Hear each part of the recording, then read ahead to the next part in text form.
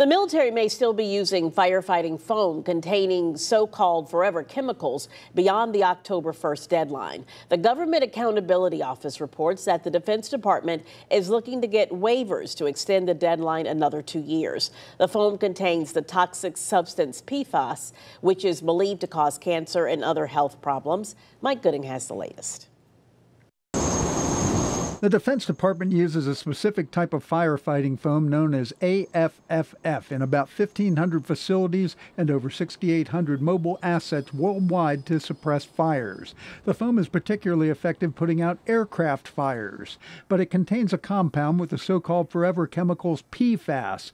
It can seep into groundwater, get into nearby drinking wells, and have adverse effects on human health, including harming fetal development, the thyroid, and immune system, and may cause liver liver damage, and testicular, kidney, and thyroid cancers.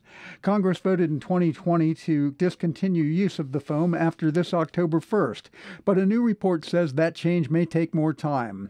The Government Accountability Office reports that the DoD has identified challenges that are slowing the transition. The report says the DoD will likely seek waivers through October 1st, 2026. We did find that they were taking actions to move toward this elimination. Um, it's just there are a number of challenges and they've got to overcome those. GAO Defense Capabilities and Management Team Director Alissa Czyz says it's important that this problem is fixed.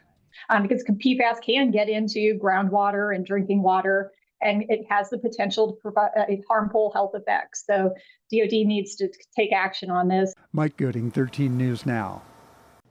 The chemicals were discovered in groundwater around in the Navy's Fentress Field in Chesapeake in 2016. The Navy provided those residents with bottled water.